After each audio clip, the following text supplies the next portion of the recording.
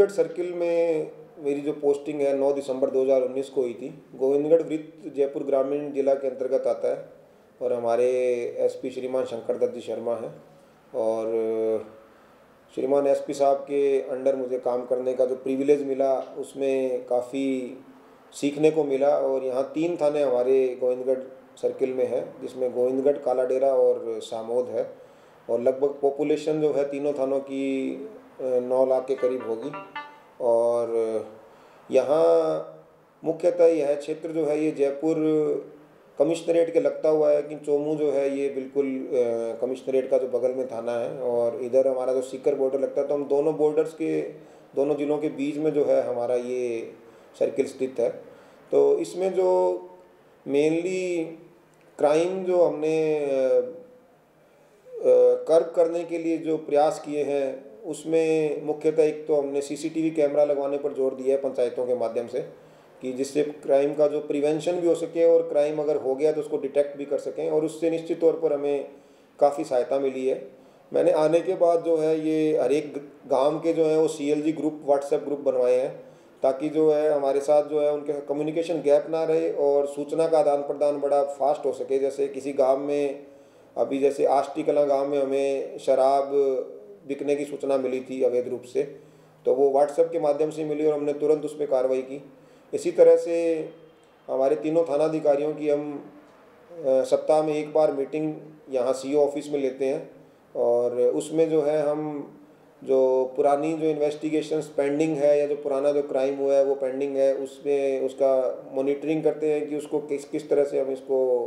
Expedite कर सकते हैं, किस तरह से डिस्पोज ऑफ़ कर सकते हैं। और मुख्यतः जो हमारे एक मर्डर की घटना हुई थी कालाडेरा थाना में, उसमें हमने जो मर्डर करके जो आरोपी है वो फरार हो गया था। उसको रात में ही जिस दिन घटना हुई, उसी दिन 11 बजे रात को जैसे घटना हुई और हमने सुबह चार बजे तक उसको पकड़ लिया था हमारी टीमें लगाकर। उसके बाद जैसे बड़ा क्राइम हमारे एक पुलिस पर फायरिंग हुई थी तो इस फायरिंग को जो करने वाले थे वो एक काफ़ी बड़ा गैंग है जो एटीएम लूट और ठेके लूट की वारदात करता है। तो इसको पकड़ने के लिए हमारी एसपी साहब ने हमारे टीमें जो अलग अलग बनाई तो इसमें मैं खुद जाकर और उनको पाटन थाना क्षेत्र से दो उसमें जो किंग पिन थे उनको हम पकड़ कर लाए और बाकी जो इसमें एक्यूज हैं वो भी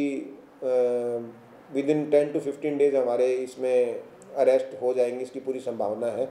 और उसके अलावा जैसे कुछ महिला अपराध से संबंधित जो हमारे फाइल्स हैं, उनके डिस्पोजल में हम बड़ी तत्परता से काम कर रहे हैं। और जैसे मेरे पास जो खुद के पास गैंगरेप या पोक्सो एक्ट में या एस सी एक्ट में जो फाइल्स हैं, उनमें हमारी कोशिश यही रहती है कि विद इन वन मंथ जो है हम चार्जशीट पेश करें और अगर हमें लगता है कि मुकदमे में सच्चाई नहीं है तो उसमें वन मंथ उसका जो एफआर में निस्तारण करें। तो इस संबंध में हमारे जो एसपी साहब भी हमें टाइम टू टाइम इंस्ट्रक्शंस देते रहते हैं और इसके अलावा जो हम, हमारे सर्किल की जो परफॉर्मेंस है पेंडेंसी डिस्पोजल में, वो पिछले साल भी हमारी दिसंबर में बेस्ट रही क्योंकि 9 दिसंबर को जब मैंने ज्वाइन किया था तो लगभग 36 परसेंट हमारी पेंडेंसी थी और दिसंबर 31 को हमारी जो पेंडेंसी है वो चार परसेंट से भी कम थी और इस साल भी हम यही प्रयास कर रहे हैं कि हमारा जो सर्किल है वो ज़िले में टॉप पर रहे। अभी एसपी साहब ने एक अभियान जो लोकल स्पेशल एक्ट में चलाया था